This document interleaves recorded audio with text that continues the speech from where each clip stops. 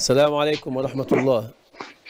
عليكم السلام. ازيك يا شيخ سلام؟ أهلا وسهلا مرحبا يا أم يوسف اتفضلي. لو سمحت يا شيخ سلام أنا عندي سؤال بس أنا عايزة بعد إذنك يعني إجابة واضحة مش عايزة يكون فيها نصايح. طيب حاضر قولي. هو أنا متزوجة يعني من مم. 12 سنة امم ومعايا ثلاث أطفال. تمام. فجوزي يعني أنا اللي مختاراه هو مختارني وكده وكنا متفقين مع بعض. بس هو المشكلة اللي فيها يا شيخ إن هو مش بيصلي. وبيشرب سجاير وحاجات مم. تانية يعني شبه السجاير يعني. الله يهديه ويصلح حاله.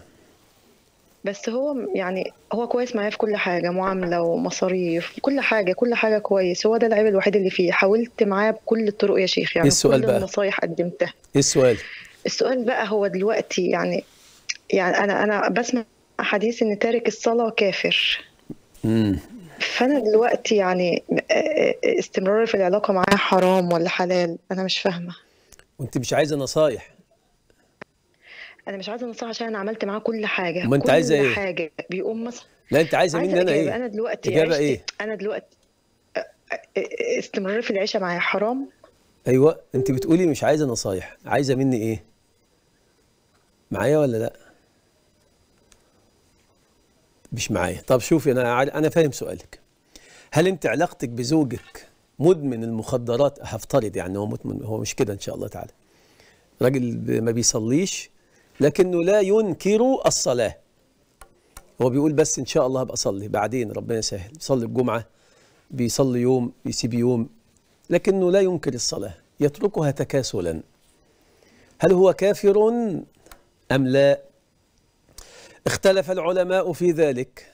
كل العلماء بيقولوا مش كافر. الإمام أحمد بن حنبل بس قال إنه كافر خد الحديث على ظاهره. اللي هو إيه؟ من ترك الصلاة فقد كفر. العهد الذي بيننا وبينهم الصلاة. من تركها فقد كفر. الإمام أحمد بن حنبل أنا بقولش وعظة أهو بقول لك كلام أهو. الإمام أحمد بن حنبل خد الحديث على ظاهره. بقية المذاهب كلهم قالوا لأ.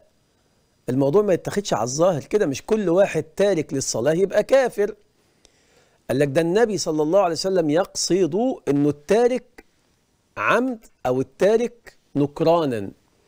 يعني تقول له تعالى صلي يقول لك لا مش مصلي. يبقى كافر. يقول لك يا عم بلا صلاة بلا وجع دماغ. كافر. يقول لك ما فيش حاجة اسمها صلاة. كافر. لكن واحد آه والله والله يا شيخ ادعي لنا ادعي لي يا بنت الله يديك يصلح حال. تقول تقول تقول لجوزك صلي يقول لك إن شاء الله والله إن شاء الله ربنا يسهل. ادعي لي بس ادعي لي ربنا يسهل الحال. ده مش كافر. أمال إيه؟ عاصي مسلم عاصي فاسق. تمام؟ نعمل إيه بقى في الحالة دي؟ تعيش معاه مراته ولا لأ؟ تعيش معاه. لأنه التفريق بين الزوجين لا يكون إلا بالكفر الصريح بمعنى الردة والخروج من الدين بالكلية أو إنكار معلوم من الدين بالضرورة. الرجل بينكر معلوم من الدين بالضرورة بيقول ما فيش حاجة اسمها صلاة ويجي يقول لك أنت مجنونة إيه اللي أنت بتعمليه ده؟ ده يتم التفريق بينكما. تفريق ما فيش طلاق. يعني انت ما تجيش تقولي اتطلق ولا لا؟ ده هو لو ارتد يبقى ما فيش حياة أصلا. بيتم التفريق بينكما. لكن جوزك ما بيصليش بيشرب سجاير بيشرب مخدرات وبتقول له صلي يقول لك إن شاء الله. طب بطل الهباب اللي بتشربه يقول لك ربنا يسهل ادعي لي. أعيش معاه؟ آه طبعا عيشي معاه. قال الله تبارك وتعالى وأمر أهلك بالصلاة واصطبر عليها. اصبري عليه يمكن ربنا سبحانه وتعالى يهديه على إيدك يجعلك سبب في هدايته.